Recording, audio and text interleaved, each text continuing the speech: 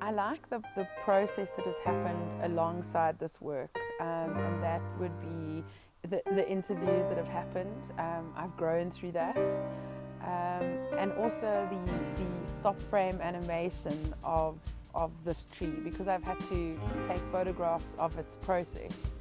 And I think the growing of this tree is going to be quite important to the, to the end feel quite positive about this work. I think it's where I want it to be.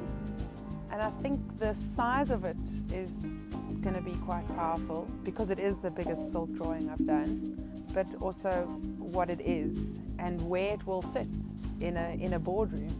I, am quite happy about that. I, I would hope that it imprints on some people's minds and they take that image home with them.